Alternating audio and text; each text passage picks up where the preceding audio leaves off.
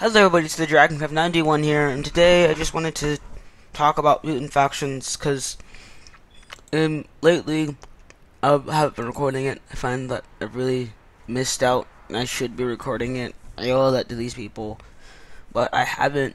And then today, like the first time in a very long time, I wanted to see if anyone was on, but there's absolutely no one on, and that just, that like legitimately just breaks my heart.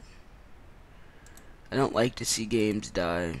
I mean, I hope I hope it's just like a bad day and it's not dying. I'm just gonna join a random game. It's Outbreak, so I, guess I can play it with myself. So you guys aren't without a video. Oh nope, I have to wait for alt alt.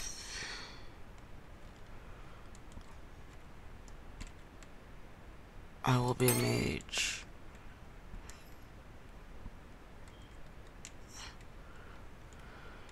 Oh, this is um, this is Outbreak. You can't really play it because you have to have six players, all in all, to play.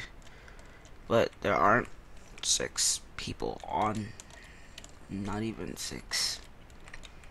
So, I guess that will just be that. I'm I, I just wanted to say I'm sorry that I haven't been able to play this game as much. I'm sorry to this awesome community.